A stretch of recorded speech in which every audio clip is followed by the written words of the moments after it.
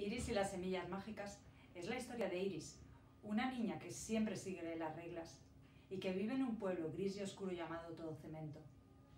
Su aventura comienza un día que encuentra un paquete de semillas mágicas enterrado en el patio de su casa. Desde el momento en que las encuentra, siente la necesidad de plantarlas. Pero cuando lo hace, cosas asombrosas empiezan a suceder. No os perdáis este libro, tremendamente divertido y maravilloso de Nicola Skinner.